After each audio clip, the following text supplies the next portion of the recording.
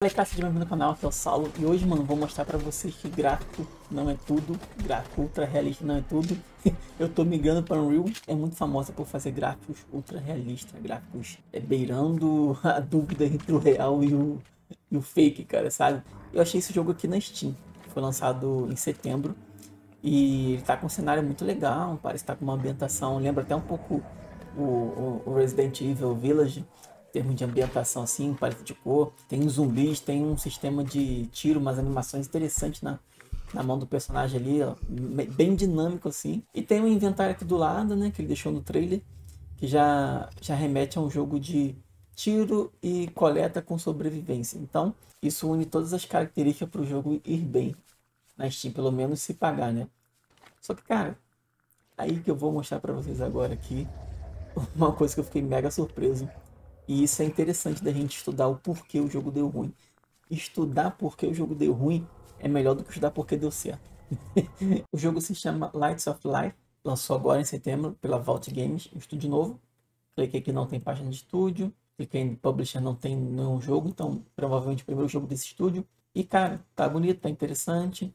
Só que a gente começa a perceber que o jogo é só um cenário bonito com alguns zumbis para tirar. Não tem mais um, alguma coisa ali para envolver o cara, entendeu? E a descrição é sobrevivência, você se escondendo numa cidade abandonada. Parece um jogo de arena. Não que isso seja ruim, mas jogos de arena geralmente costumam dar certo quando são roguelike, e você tem sempre algo novo. Então se você tem que atirar em zumbi, se curar, se esconder e depois atirar, fica repetitivo muito rápido. O jogo não tem uma história, não é aquela superprodução. Então isso aí quando eu percebi, eu falei, pô, aí tem. Né? Pode ser que seja um dos fatores para ele não ter né, nenhuma review. Só que quando eu olhei aqui embaixo, acho um 90% desse jogo ter dado errado, esse fato aqui, 59 reais, que traduzido para dólar na Steam são 20 dólares. Vou ter aqui para pesquisar jogos de tiro em primeira pessoa abaixo de 60 reais. De cara você já viu um dos melhores tiros em primeira pessoa aqui na promoção. E o preço dele cheio tá 60 reais, né? Que é o, o, Rainbow Six. Depois o Hunt, outro jogaço. Ghost Recon. Esse aqui tá em promoção. Sempre, cara, sempre vai ter jogo em promoção no Steam. Tantos jogos melhores que eu desse rapaz aqui por esse valor. Chega a ser absurdo ele tentar competir nesse mercado de tiro, que já é um gênero extremamente competitivo, por esse valor. Acredito eu que seja realmente o primeiro, a primeira experiência de mercado desse desenvolvedor. Porque, hum, cara, ele chutou muito muito para cima, muito para cima. Errou absurdamente. Esse jogo deveria custar 10 reais no máximo. Como é um jogo curto e repetitivo, no máximo 10 reais, cara. O jogo em si, ele não é ruim. Tô falando que o jogo é ruim. Ele é curto, repetitivo, mas ele parece ter uma ambientação legal, parece ter um, um game feel legal em termos de tiro, né? E pelo que eu vi aqui em outro, tem uma pequena historinha acontecendo ali, suficiente para dar o clima. Mas para esse tipo de jogo, cobrar esse valor aqui, não cola, cara. Tanto que, olha que interessante. Se abrir aqui a SteamDB, é um site que dá informações valiosas sobre os jogos no Steam, e em charts, né, que são os gráficos, vai ver que o máximo de jogadores simultâneos foi um. Deve ter sido desenvolvedor, pegou o jogo para testar quando lançou. E se a gente vê aqui no gráfico de seguidores, né, a gente percebe que, cara, tem alguma coisa estranha, porque o jogo, a página do jogo, o jogo foi lançada em julho de 2023, esse ano. E lançou ganhando dois seguidores, ou seja, a página do jogo chamou atenção. A, a screenshot, o trailer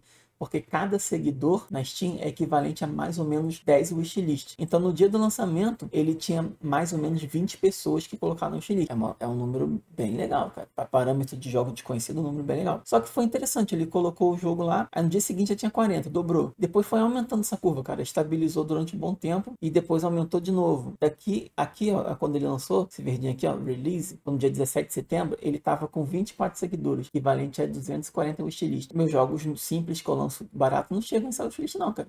Geralmente é 100, 50, 80. Então ele tinha ali uma fasquinha de algo que poderia vender um pouco mais, ou vender, porque não vendeu, né?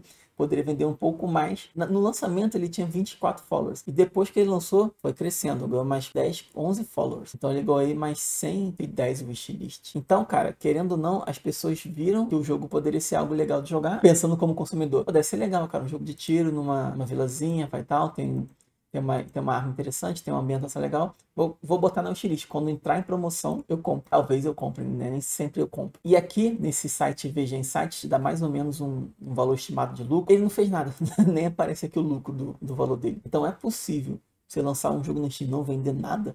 É possível, cara. É muito possível. Mas o jogo dele não tá tão fora da realidade, pelo menos para pagar o crédito da Steam. Se ele coloca esse jogo aí a 5, 3 dólares, que é o que eu colocaria, ele ia pagar o crédito dele no mínimo, cara, com certeza. Isso é fato. Porque ele no, no lançamento tinha 200 wishlist. E dessas 200 pessoas que colocaram o jogo na wishlist, mais ou menos 10% converte na primeira semana, ele já tem aí umas 20 e poucas vendas, se duvidar, pouco menos, um pouco mais, mas já pagaria o valor do crédito da Steam. Então ele já não sairia tão triste conforme provavelmente deve ter saído.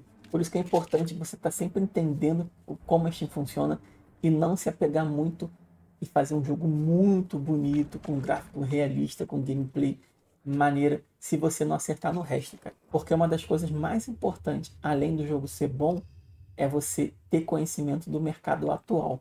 E não é muito difícil você ter uma noção básica de mercado, cara. É só você, você, você que é um, um, um gamer, então, um jogador, você vai perceber que esse jogo aqui tá caro. Então você vai primeiro falar, pô, viu caro, 60 reais. Calma aí, cara, vamos ver o que tá acontecendo aqui. Não é um AAA, sabe? Não é um jogo que você viu saindo em todos os canais de, de gameplay que você segue. Não é um tipo de jogo para estar tá um valor assim. Você logo pensa, pô, calma aí, por quê? Então, cara, é complicado. Se você não tiver uma mínima noção de mercado, você acaba dando esse tipo de mole aqui, que pode acabar com a sua carreira.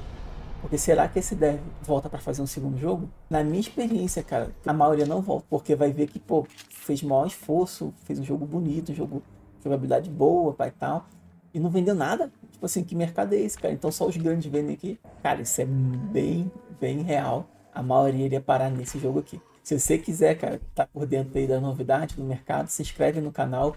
Eu vou estar tá trazendo mais vídeos como esse aqui, só pra gente melhorar como desenvolvedor indie, cara. Porque desenvolvedor indie não é só desenvolvedor. Ele é empresário também, ele precisa de network, ele precisa de tudo isso para não poder dar mais mancadas e acabar com sua carreira. Beleza? Então se inscreve aí, deixa seu like e até o próximo vídeo. Valeu!